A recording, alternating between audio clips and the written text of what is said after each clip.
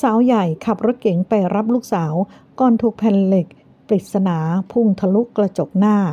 จากกรณีสาวใหญ่ขับรถเก๋งไปรับลูกสาว ก่อนถูกแผ่นเหล็ก ปริศนาพุ่งทะลุกระจกหน้ารถแตกเป็นรู เข้าบริเวณลำคอและบริเวณใบหน้าจนได้รับบาดเจ็บ เหตุเกิดบนทางด่วนบุรพาวิถี ก่อนผู้ได้รับบาดเจ็บจะประคองรถลงมาด้านล่าง ช่วงบริเวณถนนบางนาตราดกมที่ 17ตำบลบางฉลงอำเภอบางพลีจังหวัดสมุทรปราการ เหตุเกิดเมื่อช่วงเย็นวานที่ผ่านมา และล่าสุดเมื่อช่วงสายของวันที่ 29 กรกฎาคม ผู้สื่อข่าว ได้สำรวจจากกล้องหน้ารถ ของผู้เสียหาย จับได้เพียง